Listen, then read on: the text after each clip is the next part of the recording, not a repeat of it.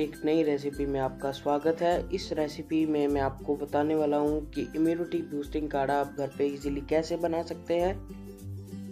पहले हम एक सॉस पैन में ले लेंगे 500 सौ के करीब पानी। 500 सौ पानी में इसीलिए कह रहा हूँ क्योंकि 500 सौ को हमने 250 सौ बनाना है। इसको अच्छी तरह से जो इम्पोर्टेंट मसाले हैं उसके साथ बॉईल करके। पानी हम तब तक बॉईल कर लेंगे जब इसमें, जब तक छोटे छोटे बबल्स आने नहीं शुरू हो जाते। जैसे कि आप वीडियो में देख सकते हैं कि पानी में बबल्स आ गए हैं एंड इसमें अब मैं काढ़े के मसाले डालने वाला हूँ, जिसमें मैं डाल रहा हूँ दो से तीन पत्ते तुलसी, एक छोटा पीस अदरक का, दो तेज पत्ते, एक छोटी दालचीनी का टुकड़ा, तीन छोटी इलायची और दो से तीन लौंग। इसमें अब डलेंगे एक बड़ी इलायची और एक चम्मच सौंफ का, एक छोटा चम्मच सौंफ का। एंड अब इसमें बहुत ही एक इंपॉर्टेंट इंग्रेडिएंट मैं डालूँगा दो से तीन मिनट बॉईल करने के बाद, जो है स्वालीन। ये वीडियो में मैं आपको बाद में बताता हूँ कि मैंने स्वालीन क्यों डाली है। दो गोलियाँ इसमें डाल देंगे एक एक पर्सन के काढ़े के लिए। एंड इसको अब तब तक बॉईल करेंगे जब तक इसकी क्वांटिटी हाफ़ नहीं रह जाती। जिस बर्तन में हमें काढ़ा पीना है, उसमें हम डालेंगे एक टीस्पून के करीब नींबू एंड फिर उसमें हम काढ़ा डाल के उसको अच्छी तरह से मिक्स कर देंगे। तो काढ़ा हमारा रेडी है। प्लीज़ जो वीडियो है, वो आप अभी मत छोड़ें। आगे मैं थोड़ी सी आपको इन्फॉर्मेशन देने वाला हूँ। तो आप वीडियो प्लीज़ एंड तक देखें। ये जो इन्फॉर्मेशन मैं अभी आपको देने वाला हूँ प्लीज़ इसे एंड तक सुनेगा। जो हमारा, जो हमने काढ़ा बनाया उसमें जो सारे मसाले डले हैं, पहली बात तो वो उनकी जो तसीर होती है, वो बहुत ज़्यादा गर्म होती है। लाइक जो इलायची है और जो है अपने अदरक अदरक भी बहुत ज़्यादा गर्म होती है, जो हमने दालचीनी डाली, लौंग डाले हैं। उसकी तस्वीर बहुत ज़्यादा गर्म होती है। ये जो काढ़ा है, हम डेली बेसिस पे जैसे आप सोचो कि एक या दो बार पीना है, नहीं, ऐसे नहीं करना।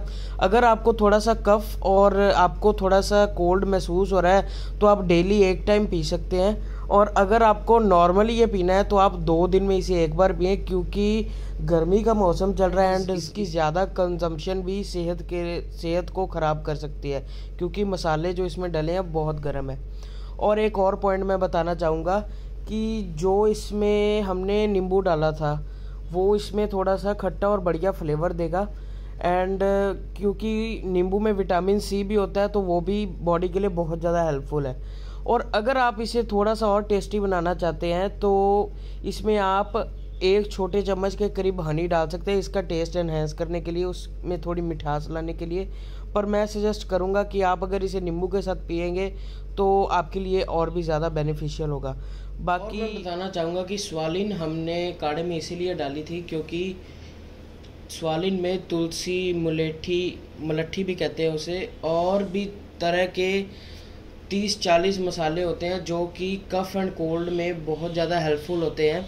एंड अगर आपको थोड़ा सा कफ़ एंड कोल्ड जनरली भी होता है तो आप तीन गोली से चार गोली तक एक दिन में स्वालिन की चूस सकते हैं। बहुत ही हेल्पफुल होती है सेहत के लिए। एक और चीज़ मैं आपको बताना चाहूँगा कि मेरी अगर आप डिस्क्रिप्शन खोल के देखोगे तो मैंने फोर पर्सन के लिए काढ़ा बनाने की भी उसमें पूरी रेसिपी इंग्रेडिएंट्स विद मेथड दे रखी है। तो आप वो भी चेकआउट कर ले। एंड अगर आप जानना चाहते हैं कि मैं अपनी वीडियोस बनाने के लिए कौन से इक्विपमेंट यूज़ करता हूँ तो लिंक्स आपको सारे इक्विपमेंट के डिस्क्रिप्शन में मिल जाएँगे। Go check it out and आपको मेरे इंस्टा हैंडल्स के भी लिंक डिस्क्रिप्शन में मिल जाएँगे। और अच्छी अच्छी रेसिपीज़ देखने के लिए please subscribe to my channel and also follow me on Instagram and अभी मैं आपके लिए नेक्स्ट बहुत ही ज़्यादा बढ़िया रेसिपीज़ लेके आने वाला हूँ लाइक इम्यूनिटी बूस्टिंग नींबू पानी and all things like that. And also i'm bringing out some mojito recipes so stay tuned and subscribe to my channel. Bye bye for now. See you in the next video